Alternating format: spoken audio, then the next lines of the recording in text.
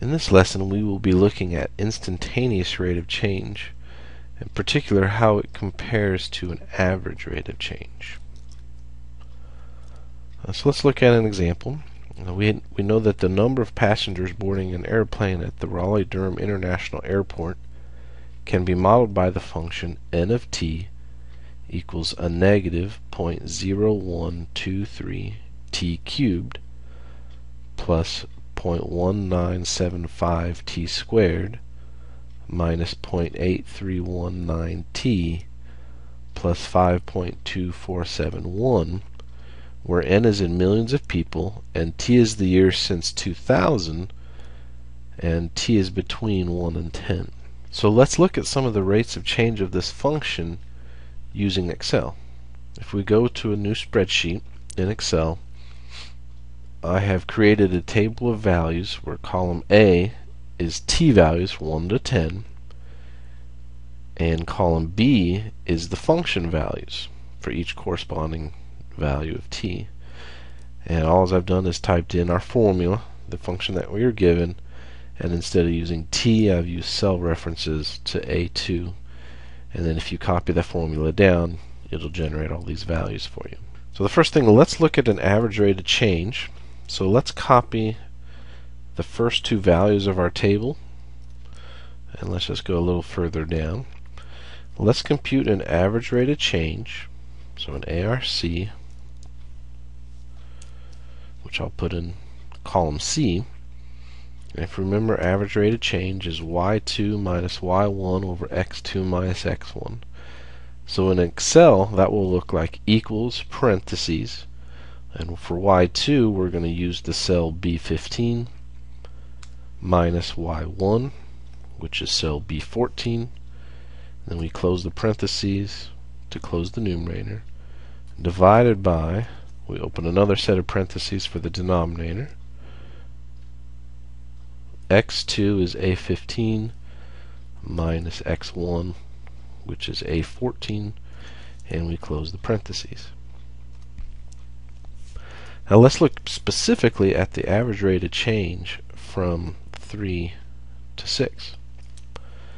So from t equals 3 to 6 we get an average rate of change of 0.1707.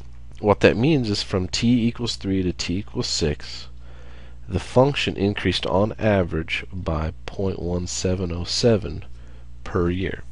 Let's try and look at instantaneous rate of change. And again, we'll copy the little table that we just made. And we're going to go up and start in column E, the very top first row. I'm going to paste that new table at the top. So everything's the same, but instead of 3 to 6, let's go from t equals 3 to 3.1.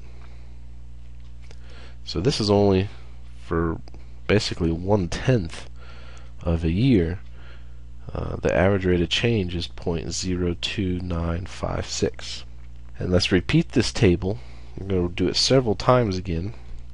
So we'll go down to the fifth row and paste it. We'll go down to the ninth row and paste it. And one more time in the 13th row and we'll paste it. So let's go back to each of these tables and change the second t value. And we're gonna we want the t values to be closer and closer to 3.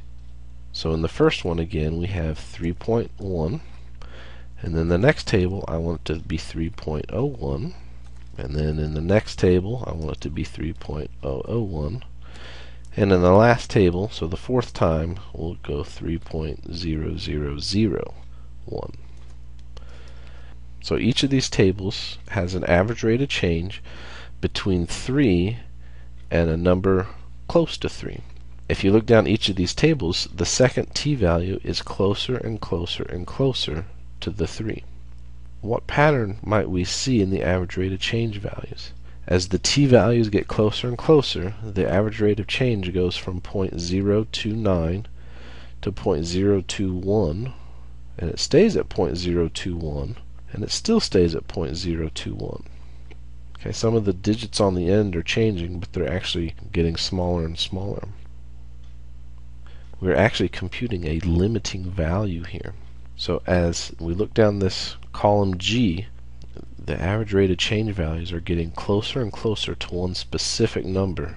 In this case, it's 0.021. This tells us two things that we've looked at. First, the number of passengers boarding airplanes at RDU increased by an average of 0.1707 million people per year from 2003 to 2006. This was the average rate of change, the change per year over several year period. The second thing is that the number of passengers boarding airplanes at RDU increased by 0.021 million people in 2003.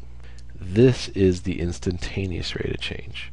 The main difference between an instantaneous rate of change and an average rate of change is that an average rate of change gives you the change per year in this case over a multiple year period, whereas the instantaneous rate of change gives you the change per year but only during a one year time. Average rate of change is the change over an interval. Instantaneous rate of change is the change at a point in time.